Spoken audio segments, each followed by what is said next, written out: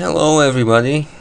In this video I wanted to share my experience with a boot problem called uh, normal.mod file not found.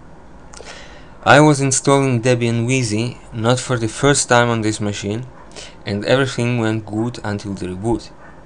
Then I was surprised with the following error.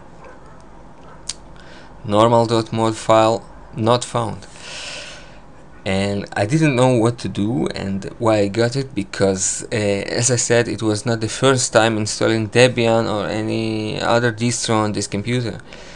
So I started to search the internet for a solution.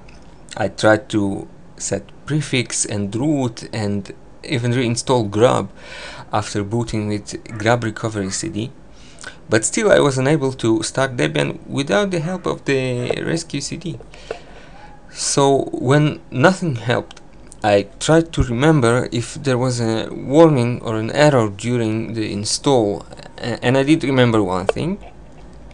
I got some weird message about EFI partition before I hit the confirm partition layout during the install. Uh, I didn't pay too much attention to this uh, and I thought it was uh, some kind of bug which seemed strange to me because um, Wheezy got a stable release already.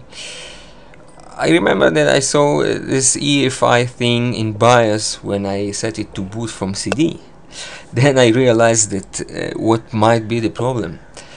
I had a USB stick plugged into one of the USB ports I don't know if the fact that it had a Linux distro on it matters, but after reinstalling Debian without the USB stick plugged in, I got everything working like charm. So uh, here's the lesson. If nothing works, try to unplug unnecessary USB drives. Cheers!